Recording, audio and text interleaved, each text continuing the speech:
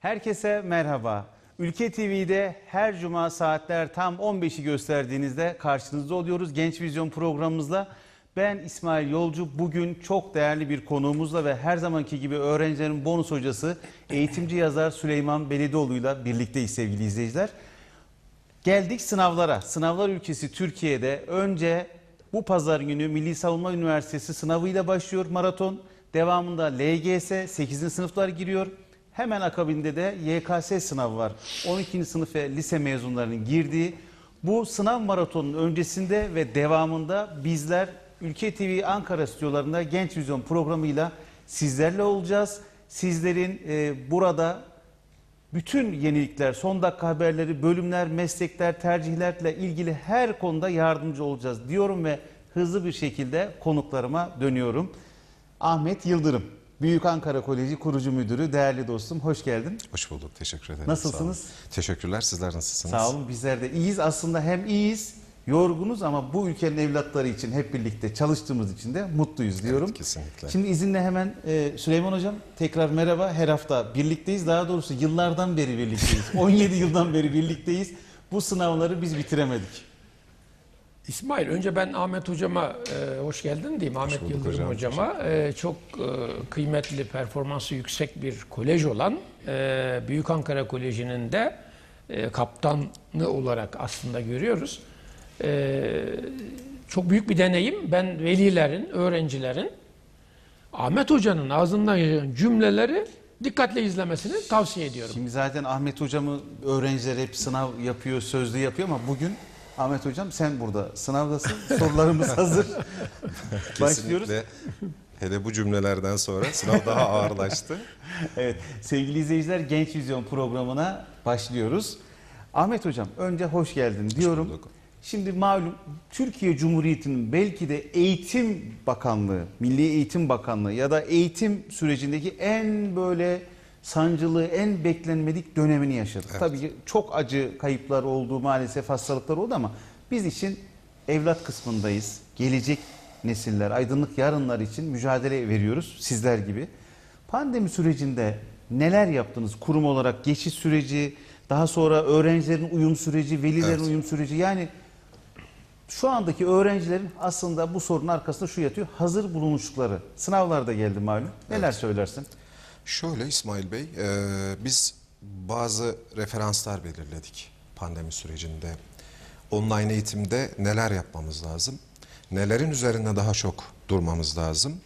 E, birinci önceliğimiz hemen eğitim öğretim hayatına başlamak oldu. Yani bu neticede bakanlığımızın, devletimizin aldığı bir tedbir kararıydı. kararıydı. Alınması gereken. Kesinlikle, kesinlikle. Öğrencilerimizin bunu tatil kararı olarak algılamaması gerekiyordu. Yani eğitim kurumlarının bu anlamdaki birinci hedefinin amacının bu olması gerekiyordu. Ee, bunu hangi yolla yaptık?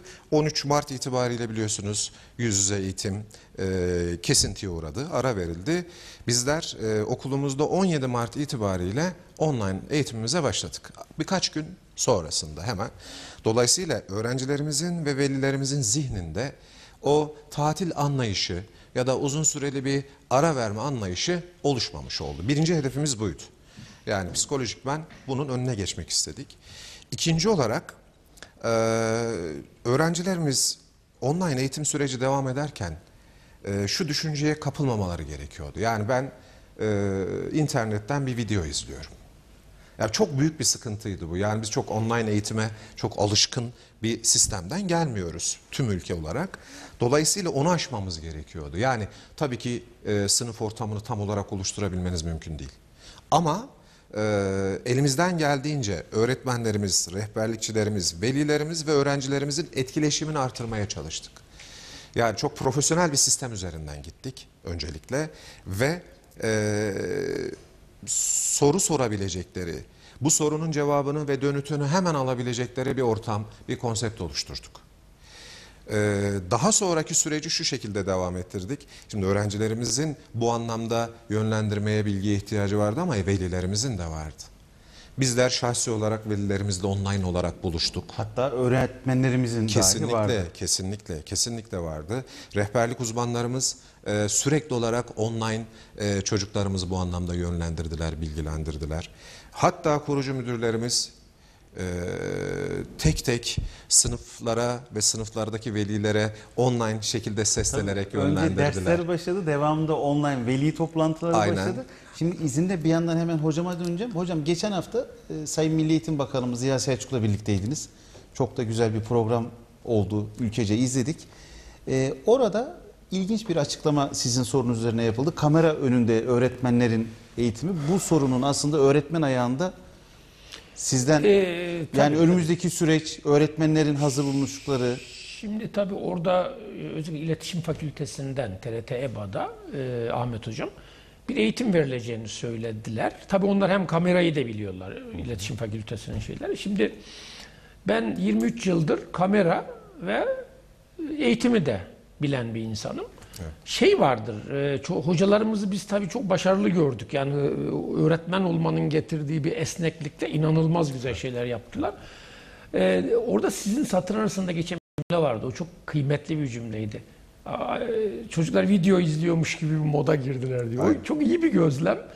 Ama bu kolay geçebilir bir şey de değil aslında. Yani çocuklar bundan sonraki dönemde de Ahmet Hocam biraz daha video tadında ders isteyecektir. Yani hocalarınızı zorlamaya başlayacaktır. Şimdi dünyada yapılan bir çalışmada 5 dakikanın üstündeki video tanıtımlar ki ders tanıtımdan daha ağır bir kavramdır.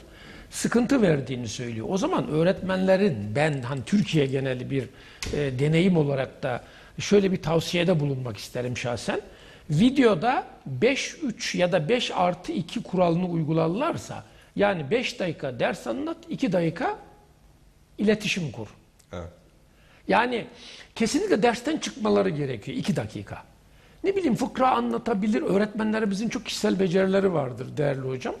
Onun için e, tabii e, hocalarımızın e, burada en çok tamam ben başardım demeden kendini yenilemeye devam etmesi lazım. E, tabii biz Büyük Ankara Koleji'ni de ilgiyle izledik. Siz gerçekten Türkiye'nin çok değişik mecralarında e, eğitim veren insansınız. Benim en çok dikkatimi çeken şeyi söyleyeceğim şimdi size. Biz il geneli etkinlikler de yapıyoruz. Instagram üzerinden. Ahmet Hocam. Mesela Balıkesir ve bir ili daha çıkarsam sizin kolejiniz kadar daha o Instagram'da o sunumu dinleyen ikinci bir kurum çıkmadı. yoğunluk olarak evet. Sizin arkadaşlarınız, kurumun yetkilileri, e, oradaydı rehber öğretmenler ya da iletişim uzmanları. Hocam dediler bitişte bin kişi katıldı. Sonraki izlenimleri söylemiyoruz biz. Ben bundan ne anladım? Son cümlem şu olsun. İnanılmaz bir öğrenci üzerinde etkiniz var değerli hocam. Biz onun için Ahmet Yıldırım hocanın deneyiminden e, faydalansınlar istedik. Harikaydı o. Yani orada öğrencilerin ve velilerin aidiyet duygusu da çok önemli. Tabii Kurumu ki, çok. kabullenme. Güven. Çünkü tabii. Güven. Çünkü Yani şu anda e, biliyorsunuz Instagram üzerinden yüzlerce yayın yapılıyor. Instagram deyince hemen bir duyuru da yapıyorum. Değerli izleyiciler, Instagram bonus hoca hesabımıza şu andan itibaren sorularınızı iletebilirsiniz. Canlı yayında sorularınızı değerli Ahmet hocama ve e, Süleyman hocama iletiyorum. Hatta ilk soruyu da ben hemen e, soracağım ama önce hocam şu e, pandemi dönemindeki eğitim konusunu tamamlayın. Ben Evet. ondan sonra Instagram'dan gelen soruları da ileteceğim. Hemen Buyurun lütfen. isterseniz. Birincisi hızlı geçiş. Temel hedefimiz buydu. Bunu başarı, başardık. Bunda başarılı olduk. Ee, ikinci husus öğrencinin derse katılımını sağlamak, video izliyor havası yaratmamak idi. Bunda da başarılı olduğumuzu düşünüyorum. Ee, üçüncü husus rehberlikçilerimizi hatta kurucu müdürlerimizi öğrencilerimizle artı velilerimizle buluşturmak ki çok fazlasıyla yaptık bunu. Ee, dördüncüsü online sınav sistemine çocuklar alıştırmaktı. Belki de en çok zorlandığımız hususlardan bir tanesi bu oldu. Biz bu geçişi şu şekilde yaptık. Bir taraftan online sistem sınavlara çocuğumuzu adapte ederken yaparken diğer taraftan da evlerine adres teslim klasik denemeler gönderdik. Her ikisini de uygulamaya başladı çocuk. Ee, Dolayısıyla evlerinden bunları tekrar aldırdık, okuttuk ve dönükleri tekrar gönderdik. Yavaş yavaş yavaş yavaş bu süreci bu şekilde tamamladık. Dört hedefimizin dördüne de fazlasıyla ulaştığımızı düşünüyorum. Ee, Süleyman hocamın, kıymetli hocamın sözlerine binaen de ben tüm velilerimize, öğrencilerimize bu anlamda bize verdikleri destek için teşekkür ediyorum. İnanılmaz, harika bir şekilde siz yapıyorsanız doğrudur algısı ve anlayışıyla devam ettiler ve adım attılar. Onlara da çok çok teşekkür ederim. Vallahi biz de tebrik ediyorum. İsmail e, dediğim ka- yabana atılmaz bir şeydi. Bakın şimdi büyük kolej Instagram'da biliyorsunuz sunumlarda 50 kişi 100 kişi katılır geri çıkar bilmem ne toplamda 300 de. O gün Profesör Selçuk Şirin Amerika'dan bağlanmış konuşuyor bir kolejle e, Ankara'dan bir kolej. Şunu söyledi. Belki de şu anda 200 kişi dinliyordur bizi ama o da iyi bir rakam dedi. ya düşünebiliyor musunuz Evet. siz? Bu müthiş bir şeydi Ankara Büyük sağ Koleji'nin öğrenci üzerindeki etkisi. Şimdi değerli hocam zaten e, siz deneyiminizle bilirsiniz. Eğer öğrenciye liderlik yapıyorsa kurum işte siz o koçluk dedi İsmail yani. Evet. O liderliktir aslında. Öğrenci lideri diyorum ben onlara koçtan ziyade. Liderlik yapıyorsanız orada büyük bir başarı çıkıyor zaten. Kesinlikle teşekkür ederim. Hocam e, ben bir yandan da hızlı bir şekilde Instagram sorularına giriyorum. E, Fadime Tuğçe Tunç soruyor. 11. sınıfta tabi diğer ara sınıflarda görmediğimiz konuları 12. sınıfta yoğun olan programa rağmen nasıl telafi edebiliriz Ahmet diyor. hocam. Önce işin bir ehline soralım. Hocam bu telafiler konusunda neler söylersiniz? Şimdi telafi Nasıl eğitimleri inşallah bir aksilik olmazsa, bir değişiklik olmazsa ki olacağını düşünmüyorum. 17 Hazır şey Ağustos itibariyle başlıyor. Şimdi öğretmenlerimiz e, zaten online eğitim esnasında bu 11'deki öğrencilere ya da 7. sınıftaki öğrencilere, ara gruptaki öğrencilere bu dönemin konularını da anlattılar. Lakin e, bunu ben telafiden ziyade bir pekiştirme olarak nitelendiriyorum hocam. Doğru mu bilmiyorum. Çünkü zaten online sistem devam ediyoruz. Konuları anlatıyoruz. E, 17 Ağustos'tan itibaren de bunun ekstra bir pekiştirmesini yapacağız. Tabii bu teknik Yani bu çok doğru söylediniz. Telafi değil, yapılmayan bir ders değil. Kesinlikle. Yapılanı pekiştirme. Harika Kesinlikle öyle bakmak lazım. Ee, dolayısıyla 17 Haziran şey Ağustos itibariyle başlayacağız. Okullar açılana kadar da devam edeceğiz. Anlatılan online sistemde öğrenciye verilen dersleri tekrar tekrar tekrar yüz yüze eğitimde devam ettireceğiz. Velilerimizin gönülleri rahat olsun. Ara gruplardaki ya da sınava hazırlanan çocuklarımızın velilerine sesleniyorum. Kesinlikle bunların e, telafisi, telafiden ziyade pekiştirmesi yapılacaktır. Şimdi ara sınıflara birazdan döneceğim ama asıl tabii şey e, hocam e, şeyin e, bu telafinin pekiştirmenin için tatil dönemini planlamayı sorayım. Sonra ben hemen hızlıca bir LGS'ye Aslında geçeceğim. İsmail bak şurada e, 11. sınıfta işlenmeyen konulara nasıl çalışılmalı diyor. İsterseniz Evet. Ahmet Hocam bir ona cevap versin. Ben eğitim psikolojisi açısından konuşurum. Orada o o sorunu baki tutalım. Ahmet Tamam Hocam bir de ona cevap versin. Tamam. Şimdi işlenmeyen konu e, biraz farklı bir bakış açısı aslında. Yani şu an çocuklarımız 11. sınıfın ikinci dönemi Mart ayı itibariyle müfredatta olan bütün konularını gördüler hocam. Tamam yüz yüze görmediler ama online gördüler. Bunun tekrarı yapılacak mı? Kesinlikle yapılacak. Ne zaman başlayacak bu? 17 Ağustos'ta başlayacak ve velimizin kafasındaki o tereddüt tamamen ortadan kalkacak. Yani aynı konuyu aslında hani e, iki kez görmüş olacak. Bu anlamda bir avantaja bile dönüştürülebilir diye düşünüyorum. Kesinlikle. Şimdi burada şöyle bir şey var. Ee, çocukların e, özellikle video konferansla aldığı bilgileri şöyle kısaca çalışarak sizin derslere gelirlerse Evet. Emin ol orada çünkü çocuk benim neyim eksik? Yani benim neyim eksik? Onu bir anlarsa öğretmene ona göre soru yöneltir Ahmet Hocam. Ona göre de çocuk e, dinleme seviyesini ayarlar. Onun için çocukların telafi derslerine ki öyle adı Ahmet Hocam'ın çok doğru olarak söylediği pekiştirme derslerine e, çalışarak gelmelerinde fayda var. Kesinlikle.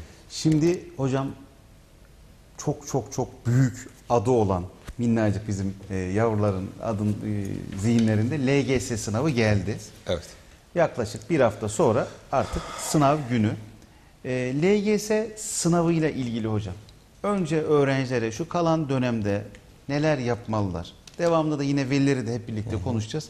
Ne söylersiniz hocam bir haftalık süreçte? Şimdi e, bir haftaları kaldı. E, dolayısıyla bir seneyi, koca bir yılı ve yoğun bir yılı atlattılar aslında. Bu yoğun yılın en zor dönemi bana göre çocuklarımızın e, evde kalmak zorunda oldukları dönemdi. Ama ben e, gözlemlediğim kadarıyla söyleyeyim, öğrencilerimiz bu sınavı da aslında ilk sınavlar evde kalma sınavlarıydı. Başarıyla atlattılar diye kesinlikle düşünüyorum vallahi. hocam. Yani Ülkece Şimdi ikinci sınava girecekler. Ee, kesin yani yapma, yapması gereken bazı klişe şeyler var. Ee, ben e, şöyle diyorum. Birincisi işte 4-5 gün kala sınav akşamı ne zaman e, yatacaklarsa aynı saatte yatmalılar. uyku planlamasını Tabii ki uykularına bir ya da sınav sabahı kaçta kalkacaklarsa ona yakın bir saatte kalkmalılar. O fizyolojik e, düzeni buna göre ayarlamaları gerekiyor. E, ikincisi e, neticede günü planlarken aslında haftayı da planlamak lazım. Beraber planlamak lazım. Günü planlarken ufak ufak tekrarlarına devam edecekler. Çok fazla yorulmadan, aslında çok fazla kasmadan. Çünkü son bir hafta çok fazla yorulmamaları gerektiğini düşünüyorum. Ee, artı ailelerine de vakit ayırmalılar, kendilerine de vakit ayırmalılar ve günlerini ve haftalarını bu şekilde planlamalılar. Ee, deneme çözecekler tabii ki birkaç gün kalasıya kadar soru çözecekler ama burada e, moral ve motivasyonunu düşürecek olan çok zor konseptteki sorulardan uzak durmalılar. Yani ben şöyle düşünüyorum. Şu an öğrenci için en elzem, en önemli şey çocuklarımızın morali ve motivasyon. Bunu yukarıda tutacak her şey olumlu. Bu aksi durum doğuracak her şeyi ben olumsuz bir süreç olarak nitelendiriyorum. Ee, velilerle ilgili bir cümle sadece. Ee, velilerimiz yanlış yaklaşmasınlar. Şöyle ben kendi görüşümü söylüyorum. Ee, bazen çocuklarımıza iyilik yapayım derken kötülüğümüz dokunabiliyor. Maalesef aşırı Yani evhamlı oluyoruz. hadi sana güveniyorum sınav Tabii, yaklaştı yapacaksın falan hiç gerek yok. Yani e, tamam çok önemli bir sınav bu ama çocuklarına nasıl davranıyorlarsa normal ve rutin davranmalılar ki farkına varmadan o çocuğun e, motivasyonunu düşürmesinler, sırtındaki yükü daha fazla artırmasınlar. Artırmasınlar. Ya çocuk onların çocuğu. Tamam başarılı olacaklarından şüphemiz yok zaten öğrencilerimizin. Lakin sürekli e, bu köpürterek çocuğun sırtındaki yükü de artırmamak gerektiğini düşünüyorum. Bir anne baba normal süreçte nasıl davranıyorsa son bir haftada çocuğuna öyle davranmalı diye düşünüyorum. Aksi durum farklı ve sıkıntılı sonuçlar doğurabilir. Teşekkür ederim. Sevgili izleyiciler Instagram bonus hoca hesabıma soruları bekliyoruz. Buradan gelen soruları ben sizler adına e, değerli hocalarıma iletiyorum. Süleyman hocam bir tarafta pandemi süreci oldu. Yüz yüze eğitim alınmadı. Diğer tarafta da ikinci dönem konuları iptal edildi. Şimdi kefenin bir tarafında ünit yılın yarısının soruları yok. Bir tarafta da evde hazırlanan bir öğrenci grubu oldu Türkiye genelinde. Bunu kefeye koyduğumuz zaman sizce hangi tarafa ağır basıyor? Yani bunun yüzünden birçok öğrencinin motivasyonu bozduk, okullar kapandı, biz eğitim alamadık diyorlar ama herkes alamadı. Sizce bu durumu şu anda zihinlerinde nasıl Yani toparlasınlar? bunu sınava endekslememeliler. Ahmet Hocam daha iyi bilir. E, Çocuklar, Ziya Hoca da sıklıkla söylüyor bakan. e, Zaten Nisan Mayıs'tan sonra rapor alır ortadan kaybolurlardı. Doğru. Ha, Bu açıdan yani eve kapanmış olmalarını virüs yaptı ama eskiden de virüs vari bir rapor alıyorlar. Daha şimdi Rapor virüs yardımcı vardı. oldu çocuklara. şimdi burada Ahmet Hocam orada bir motivasyon bozukluğu yaşadıklarını ben aslında düşünmüyorum. Ha sadece iletişim ihtiyacı çocukların karşılanmadığı için o bir doyumsuzluk yapar ve motivasyonu bozabilir aslında. E, Başka ne olabilir? İşte sosyalleşme, öğretmeninden yüz yüze yararlanma. O boşluklar olabilir ama çocukta çok büyük etki yaratmaz. Ben Ahmet Hocam'ın özellikle e, şu tavsiyesini pekiştirmek isterim. E, yorulmasınlar çocuklar dedi son bir hafta. Bu çok kıymetli. Şimdi dün itibariyle artık dışarıya çıkışları da serbest bırakıldı. Bu aslında onu da hemen soruya ekleyeyim hocam. Neler yapmamaları açık havada epeyden beri de Şimdi Alışkın İsmail değiller. e, burada çocukların sınava çok yorgun girmesini sağlayıcı bir takım e, programlar yükleniyor çocuklara Ahmet Hocam. Bunu bilirsiniz. Evet. Yani daha çok son ana kadar son tempo falan filan diye ki bu sınava zihinsel ve bedensel yorgunlukla girmiş olmalarına sebep oluyor.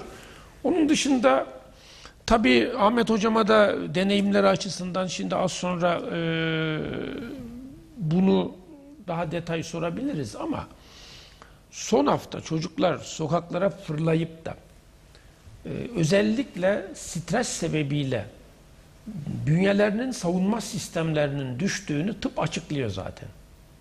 Diyor ki vücuttaki T hücre sayısı düşer stresten dolayı. Basit gıdalardan zehirlenme yaşayabilirsiniz. Yani bir salamdan, sosisten, ketçaptan vesaire neyse artık. bir şeyden zehir, gıda zehirlenmesi olabilir çocuk her türlü şeyden. O zaman deniliyor burada elinizden geldiği kadar dışarıda e, yemek yemeyin ya da çok soğuk içecek içmeyin. Çünkü o da soğuk algınlığına sebep. Toplamı bu. Biz bir deneyimimizle konuşuyoruz. Şimdi Ahmet hocama sorsak burada mesela sınavdan önce gıda zehirlenmesi yaşayan öğrencilerini belki hatırlar. Bilmiyorum Ahmet hocam. Kesinlikle yaşadık. Var değil mi yaşadığınız Evet, şeyler? Sınav esnasında bunu yaşayan, keşke diyen çok fazla öğrencimiz oldu maalesef. Ee, inşallah aynı tecrübeleri tekrar etmeyiz sizin bu uyarınız sayesinde. Mesela en basit kahvaltı düzeni. Son sınav sabahı çocuk belki son 3 hafta bir ay hiç portakal suyu içmemiş. Aman portakal suyu sofrayı süslemek adına Kesinlikle, biraz aşırı gazlı içecekler veya hiç yemediği yiyecekler veya şekeri tatlıyı arttırmak ve neticesinde de bir o sürü bünyenin alışık olmadığı her şey son bir hafta zarardır diye Aynen düşünüyorum. öyle. hocam. Altın kural hocam. mıyım? Yani yavaş yavaş yani çok fazla yüklenmeden her şeye. altın kural bir gün önce sabah kahvaltıda ne yediyse ertesi gün İkinci de gün aynısı. aynısı. Bitti. Sevgili İsmail Yolcu, bak şimdi Ahmet Hocam deneyimli. Çoğu soru yazdırıyorlar, deneme sınavları düzenliyorlar falan. İşi bilen bir insan. Şimdi şöyle bir soru var. Bu, bu inanılmaz bir şey. Ya biz bunu bakana da sorduk. Şimdi bak ne diyor? Dikkat ediyor musunuz? Ee, sadece birinci dönemden soru gelecek olması soruların daha detay olmasına yol açar mı diyor. Ahmet Hocam bu nasıl bir e, şey ki güçlü şekilde yayılmış ya. Değil mi? Çok fazla dolanıyor bu aralar. Yani Böyle bir birinci şey dönem mevcut mu Mesela sizce? işin kafadaki asıl Ahmet Hocam söylesin. Kafadaki asıl problem şu, birinci dönem konuları, konu az, doğal olarak sorunun zor olması lazım, eleyici olması lazım, lazım, seçici olması lazım. Çocuklarımız bu anlamda elenecek mi, alışkın olmadıkları tarzlar gelecek mi? Hayır. Ee, benim düşüncem kesinlikle geçen senenin soru tarzı ve stili neyse onun birebir benzerinin ve yakınının geleceğini düşünüyorum. Zaten geçen yıldan itibaren e, Sayın Hocam biliyorsunuz sözel mantık, sayısal mantık sorularının oranı arttı. Bu senede aynı konse- konsepte geleceğini düşünüyorum.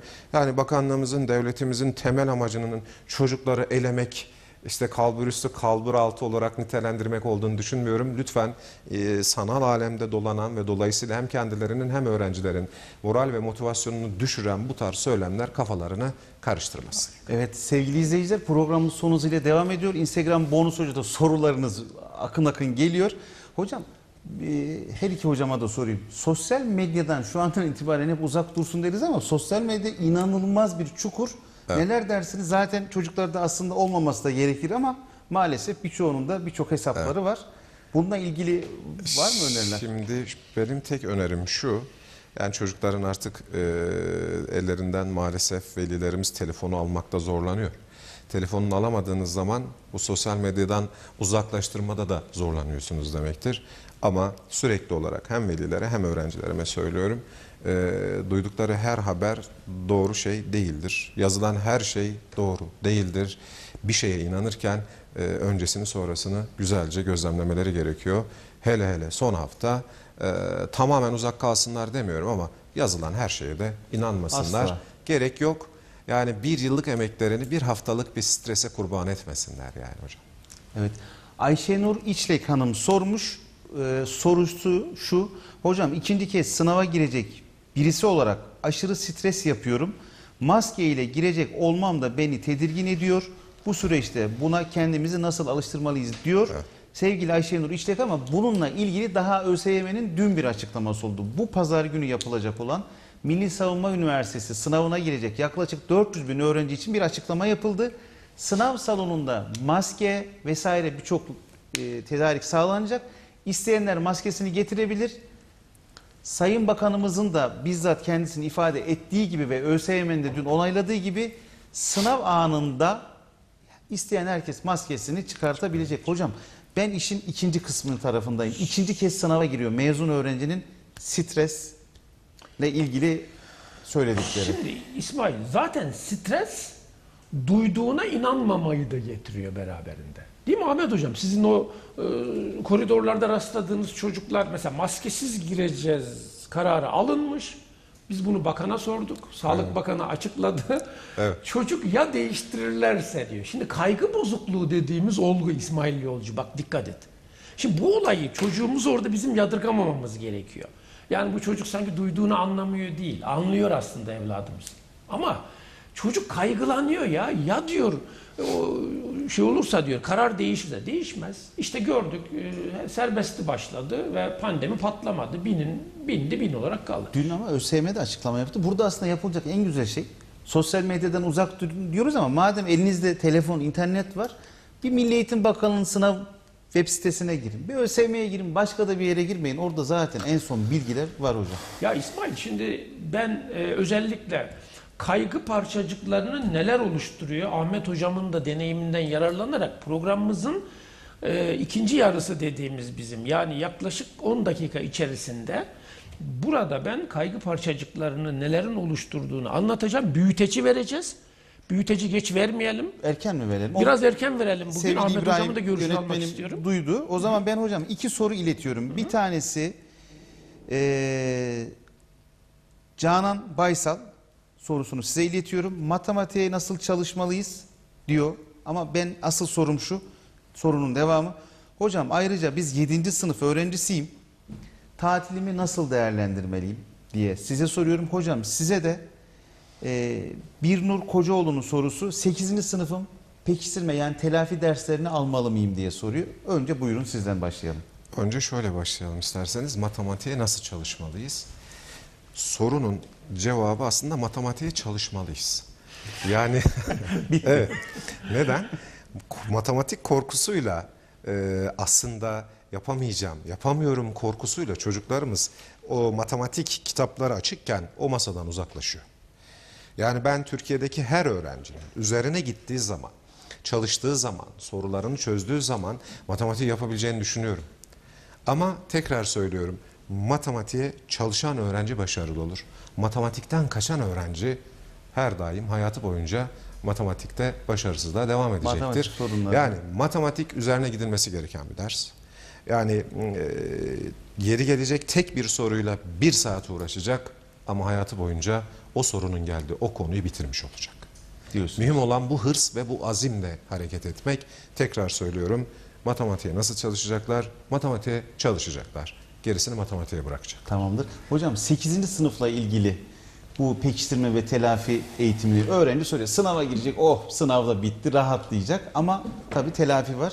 Orada size sormuş. Almalı mıyım? Şimdi İsmail hemen ona geleyim. Ama e, Instagram bonus hocada şöyle aşağıya doğru inerlerse Tazmanya Üniversitesi'nin hocalarından e, Vesife Hatusarı Hoca ile bizim bir söyleşimiz oldu Instagram'da. Kıtalar arası. Kıtalar arası. Avustralya ile Türkiye Şimdi arasında. Vesife Hoca neyi anlattı orada girişte? Ben dedi matematikten inanılmaz başarısızdım. Şimdi bakın Avustralya'da dünyanın sayılı üniversitelerinden birinde matematik öğretim üyesi. Ben bütün çocuğu matematiği anlamıyor, korkuyorum diyen kişilerin Instagram bonus hocaya girip şöyle biraz hafif aşağı inerlerse Kayıtlı zaten orada. kayıtlı görürler. Ee, matematikle ilgili bir konu konuşuluyor. Altta konular yazıyor. 8. sınıfların telafisi neden gerekli? Hatta ben Sayın Bakanımıza İsmail sen biliyorsun o soruyu zaten ona sıra gelmedi vakit kalmadı. Hocam bu 8. sınıf öğrencileri 9. sınıf olacak. Peki bunlar telafi eğitimini daha önceki ortaokullarında mı yoksa gittikleri lisede mi alacaklar? Hoca değişik, okul değişik ne olacak diye soracaktım ama vakit kalmadı. Şimdi neden bu soruyu soracaktım biliyor musunuz? Ahmet hocam işin içinde. Burada.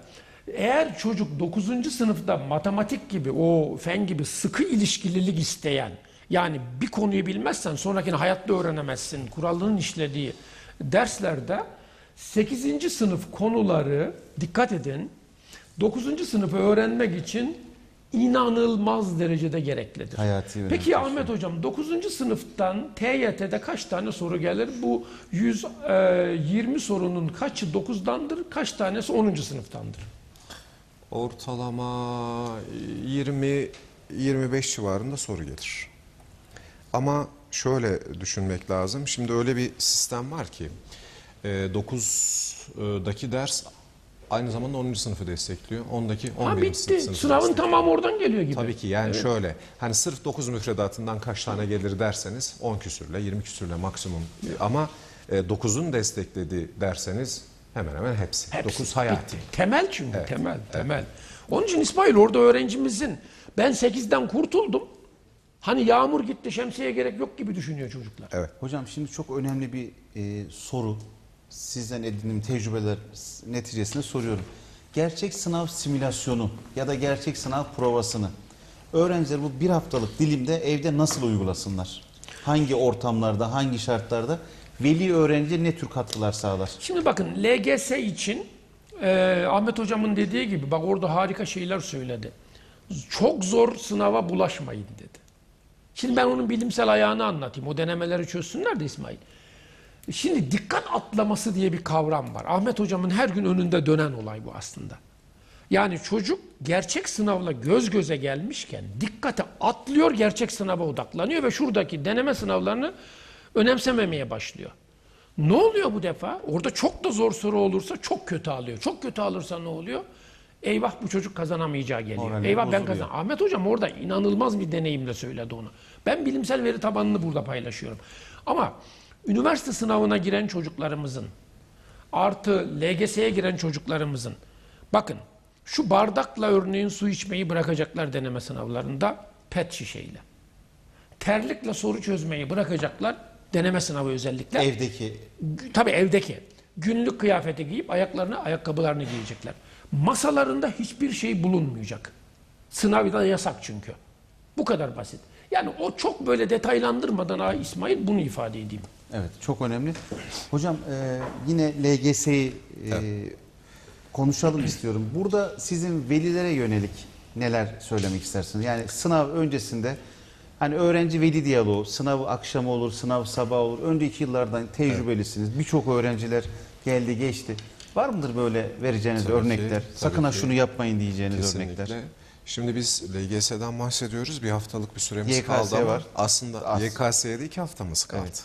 Şimdi onun aslında bu bütün uyarıları e, bu anlamda hem LGS hem YKS öğrencileri adına yapmak gerekiyor. Yani hepsinin kulağına küpe olması gereken şeyler bunlar. Dediğim gibi şimdi e, velilerimiz e, iki türlü davranabiliyor. Benim gördüğüm iki türlü yanlış var bu benim gözlemlediğim. Ya sınavdan bir hafta 10 gün önce aşırı serbest bırakmak, çık sokağa, toparla kendini. Ya da tamamen eve kapatıp genel tekrarlarını yap, hiçbir eksiğin kalmasın ve e, bu denemelerini çöz, sorularını çöz, dışarı çıkma şeklinde oluyor. Lütfen bu ikisinden uzak dursunlar. İkisinin de çok büyük zararlar verdiğini gördük. Yani hani çocuğa tamam bırak 10 gün kaldı, 15 gün kaldı. İşte e, artık ders çalışma git kafanı toparla da dememeliler.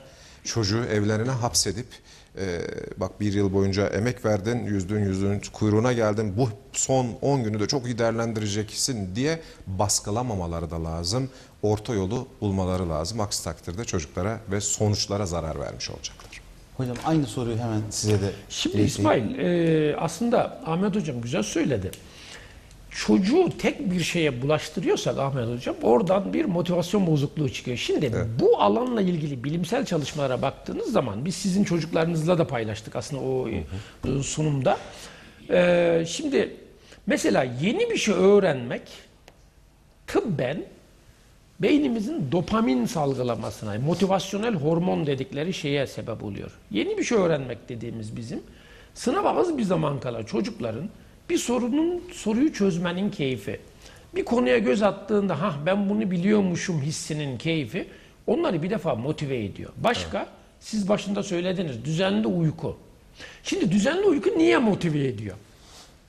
Bak bu çok önemli bir nokta. Ben velilerimizin buna kilitlenmesi gerekiyor. Biz Instagram Bonus Hoca'dan bununla ilgili yayınladığımız videolarda görmelerini rica ediyorum özellikle. Çünkü bakın düzenli uyursanız basamaklara dikkat ediniz değerli veliler, öğrenciler. Uyku dikkati arttırıyor. Dikkat soruya fokuslanmamızı ve anlamamızı sağlıyor. Yani bizim motivasyonumuzun özü okuduğumuz soruyu ya iyi dikkatimizi vermekten kaynaklanıyor. Dikkatimizin de oluşturucusu düzenli uyku. Çok basit. Bakın tıptaki değişik çalışmaları birleştirerek söylüyorum. Yani siz düzenli uyursanız iyi motive olursunuzu belki birçok kaynak çok net bildirmez. Çünkü e, dikkat kitapları ayrıdır. E, beyin öğrenme kitabı ayrıdır. Eğitim E, kitabı. eğitim kitabı ayrıdır. Ben metaforik çalışma, benim işim o zaten. Bunları birleştiriyorum. Veliler açısından bu iyimser kötümser öğrenci ayrımını siz çok güzel e, yapıyorsunuz hocam. Burada velilerine çocukların daha yakından tanımaları açısından iki tip öğrenci grubunun klasik davranışları sınav akşamı sınav sabahı neyle karşılaşabilirler veliler? Şimdi İsmail tabii bu kısa sürede çok detay bir soru bu. Ben sadece şunu söyleyeceğim. Karamsar öğrenciler stresi dile getirmez, iyimserler dile getirir. Belki de en dikkat edilmesi gereken şey budur. Ya bu çocuk çok karamsar, çok stresli söylüyordu. Hayır onlar iyimser olduğu için söylüyor. Ya bakın ben stresim işte falan diyebiliyor. Karamsarlar içine atıyor. İçine atınca güm diye sınavda patlıyor. Ona dikkat Bir bakın. de şey var Ahmet hocam çok yakından tanık olduğunuz bir olaydır eminim. Biz de aileler çocukları sınava uğurlarken askere uğurlar gibi. Aynen. Cümbür cemaat böyle aile, teyzeler, halalar, te- uzaktakiler telefon, gelirler filan. O olağanüstü bir durum oluyor. Eyvah diyor çocuk bir, bir anda. Zihninde çok büyük olmasa bile o an, o sınavı, o sınav anını olması gerektiğini çok çok daha büyütüyor, balonlaştırıyor aslında. yani öyle. Dedim çocuk ya, o an normal. diyor ki, eyvah diyor bu çok önemli bir şeymiş. O zamana kadar okul, herkes, medya, televizyon, herkes aman sakin ol, al bir sınav filan diyorsun ama aile bir anda işi o bozabiliyor an her maalesef. şey değişiyor. Evet. Hocam e, İsmail Buyurun. şu iyimseri bir tamamlayayım orada eksik kaldı. Şimdi bu kötümser öğrenciler çalışmayı son ana kadar sürdürebilir hafif hafif. Buna özellikle dikkat edilmeli. Yani çocuk kendini iyi hissediyorsa konuları ara ara ara ara ara ara Ahmet hocamın da dediği gibi böyle zor soruya soruya bulaşmadan konuya şöyle kitaptan rastgele beşer onar dakikalık bakışlar rahatlatabilir. İyimserler daha önce bırakır. Normalde son iki gün çalışılmaz ama kötümserler biraz daha sınavın üstünde durur. Kötümser öğrencilerin anne babalara bir elense çekme seansı vardır. Ahmet hocam siz de çok rastlamışsınızdır. Gelir anne babasına der ki sınava 10 gün var. Anne der ya ben kazanamayacağım. Şimdi anne baba bu tuzağa girer de çocuğum canın sağ olsun derse çocuk karamsar ya zaten bak bak der. Benim kazanamayacağımı anladılar. Hah kazanamazsın sen beni teselli ediyorlar diye yorumluyor çocuk. Anne babalarının şunu bilmesi lazım. Sen ben kazanamam anne baba diyen çocuklar karamsar çocuklardır. Sizden beklediği cevap da çocuğum çalışmaların karşılığını alırsın. Hepsi bizim başımızın tacıdır desinler. Sözü de uzatmasınlar. O çok önemli bir nokta. Şimdi buyur İsmail. Şimdi bununla ilgili hemen devamını aslında birazcık doldurayım hocam. Sizin çalışma ve öğrenme diye iki ayrı faktöre ayırdınız seminerlerde. E, Bir tanesinde fiziksel, bir tanesinde bilişsel uygulama yapıyor öğrenci. Bu kalan dönemde hocam öğrenciler sıfırdan konu çalışanlar var. Gün her günün başında ya da hunharca 3 tane 5 tane deneme çözmeye çalışanlar var. Burada sizin önerileriniz neler? Ahmet Hocam İsmail şunu soruyor aslında. Çok çalışıp göz mü doldurmak lazım? Doğru çalışıp beyin mi doldurmak lazım? İsmail herhalde onu soruyorsun. Aslında yok. Tamamen sıfırdan da konuda çalışmamaları ben sizden Neyse, almaya Ahmet hocam. Ahmet Şöyle hocam. söyleyeyim, çok çalışıp göz doldurmasınlar. Bu bir. Çok az çalışıp vazgeçtikleri hissini ailelerine vermesinler. Ee, her şeyin ortası güzel. Ee, kıvamında günde bir tane denemelerini aynen sınava girecekleri saatte çözmediler. Saat 10'sa 10'da başlayacak ya bu çok önemli. Buyurun. Bir şey daha soracağım. Şimdi siz tabii LGS'yi konuşuyoruz ama bunun devamında Söylediklerimiz Hepsi aslında YGS, hem YKS, LGS. Çünkü e, aynı konseptli Tabii, tabii, sınavlar tabii, bunlar. aynen. YKS öğrencilerimiz de dahil Şimdi onların iki haftası kaldı. tercih döneminde de sizin çok güçlü Evet. bir rehberlik biriminiz var. Evet. Sizler bu işin duayenisiniz. Tercihler döneminde var mıdır böyle sosyal sorumluluk projeleri, öğrencilere yardımlar, Tabii LGS ki, tabii ki. tercihlerinde? Biz tercih dönemlerinde şöyle yapıyoruz. Ee, ailelerimizi, anne babalarımızı ve öğret şey öğrencilerimizi okulumuza davet ediyoruz, randevu veriyoruz. Ee, bizlerin de kurucu müdürlerin de bulunduğu ortamda. Orada biz de devreye giriyoruz. Hem rehberlik servisimiz hem biz. Çünkü biz e, aynı zamanda yıl içerisinde çocukları takip ediyoruz. Tercih dönemi aslında bir şey değil. Bu eğitim öğretim yılının bir parçası. Kesinlikle. Doğal olarak En o önemli parça parçası. tabii ki en önemli parçası. Yani hani öyle bakıyoruz. O parçanın içerisinde bugüne kadar bulunduysak bugün de bulunmak gerekiyor diye biz ve rehberlik servisimiz bu anlamda e, velilerimize ve öğrencilerimize birebir yüz yüze desteğimizi veriyoruz. Peki her çocuk özel okula gitmiyor. Evet. Birçok devlet okulunda okuyan Evet. milyonlarımız var. Evet. Ee, devlet okulunda okuyan öğrencilere de kapılarımız açık mı? Öyle Her bir zaman, sosyal sorumluluk zaman, projesi zaman. yapar kesinlikle, mısınız? Kesinlikle her zaman açık. Zaten e, bu anlamda e, biz devlet okullarıyla da sürekli bağlantı içerisindeyiz. Bu arada hani e, yeri gelmişken söyleyelim. Biz online eğitim sistemimize talep eden bazı öğrencilerimizi de kattık. Hem EBA'dan hem bizden de takip edebildiler. E, Bunu yaptık. Tercihlerinde de muhakkak yanlarında oluruz. Harikasınız hocam. Tebrik Bu ederim bize vallahi. onur verir, gurur verir. Devletimiz için, milletimiz için yaptığımız neticede Tebrik şey ederim bu hocam. yani. Bir kere daha vallahi ne güzel bir şey bunları duymak. Süleyman hocam e, süremiz artık programın yarısını geçtik. Üçte birlik bölümümüz Ha, kaldı ama girelim. şimdi birazdan Büyütece e, büyüteci alalım. Ha. Hem ona hazırlık devam ederken ben yine sizi hızlı bir şekilde ağzınızdan neler çıkacak bütün anne babalar öğrenciler bekliyor. Yine LGS hem devamlı YKS ile ilgili e, neler söylemek istersiniz? Hatırlatıcı Şimdi başlıklar. burada Ahmet Burak Çetin demiş ki kazanamama korkusu yaşıyorum. Ne yapmalıyım? Hiçbir şey yapma. Bu korku sınav başlayınca geçer zaten. Biz az sonra bunu konuşacağız. Ee, şimdi e, günde kaç günde kaç soru çözmeliyim?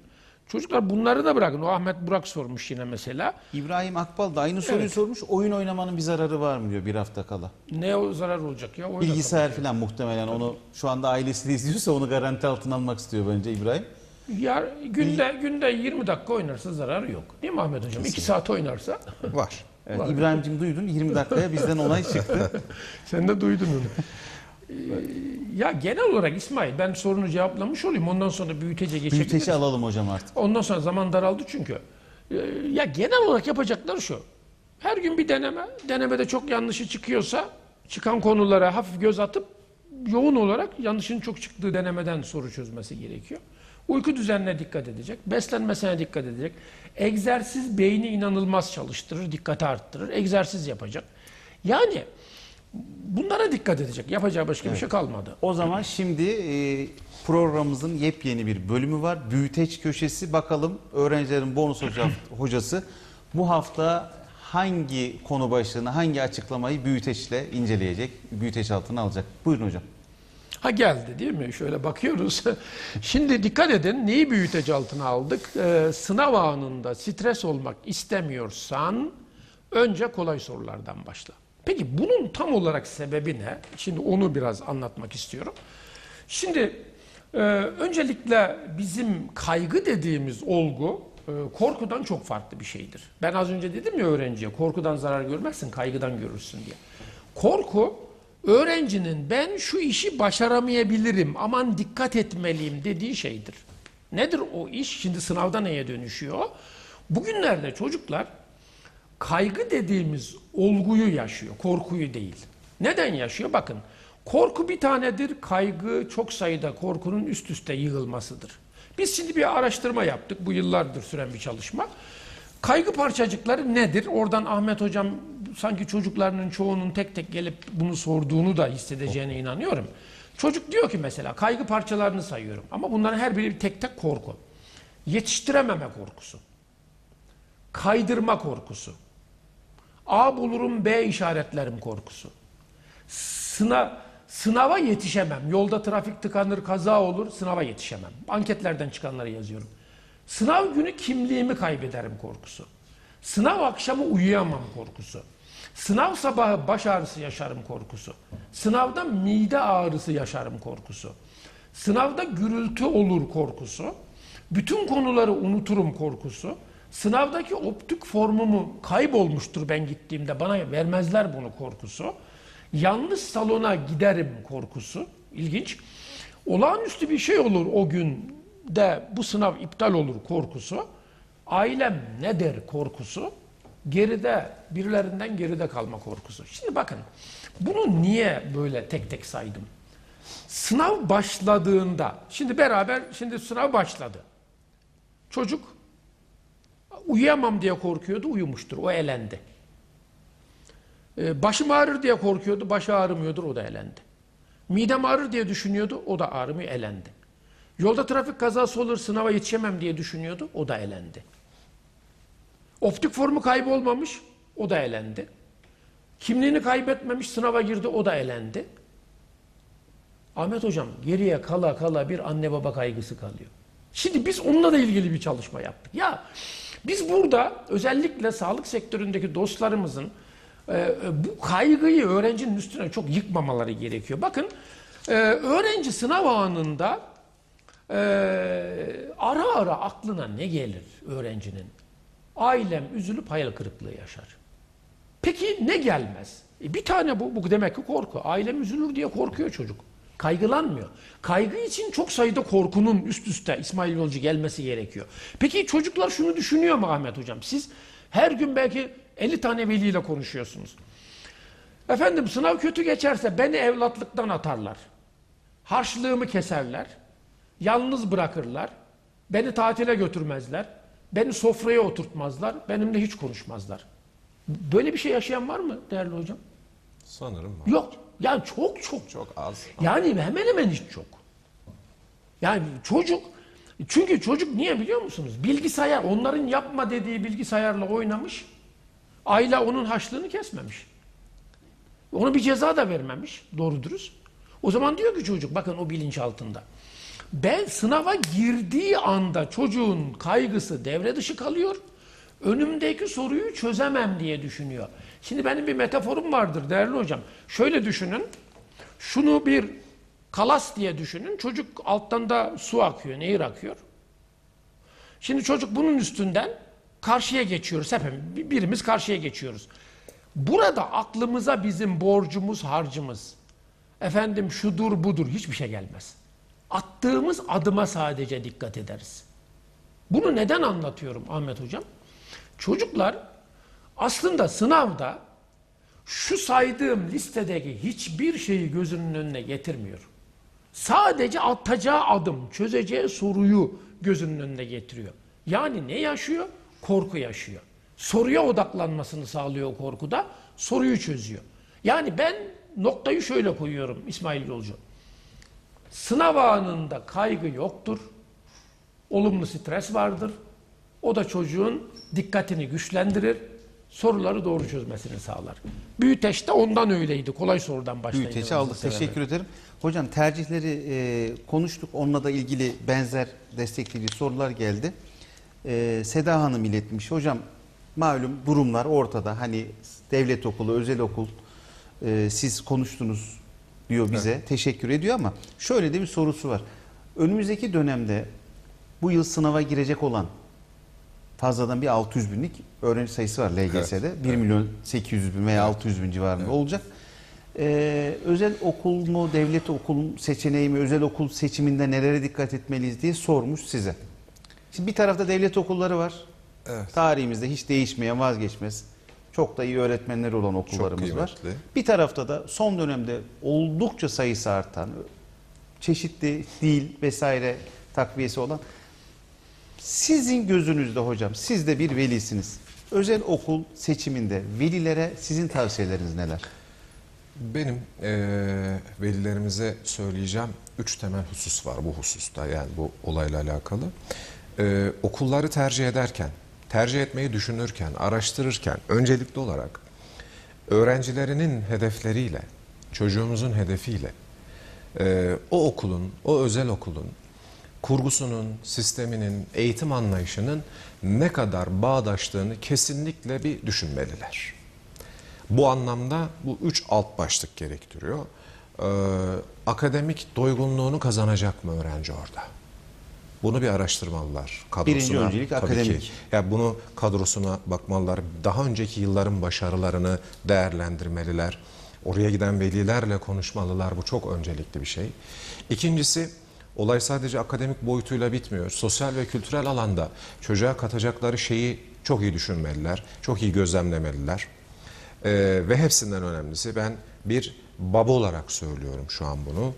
Ee, velimiz eğer akşam eve geldiğinde öğrencisinin masanın başında onu anne ve babası zorlamadan oturduğunu artık e, bazı şeyleri bir görev, bir sorumluluk haline getirdiğini e, görürse yani yap oğlum hadi dersini çalış kızım e, cümlelerini kurma gereği hissetmeden o çocuğum o masanın başında kitap okurken ya da test çözerken görürse doğru kararı vermiş demektir. Yani bence en güzel okul öğrenciye çalışma disiplini aşılayan okuldur. Teşekkür Benim düşüncem bu. Kesinlikle ben de katılıyorum.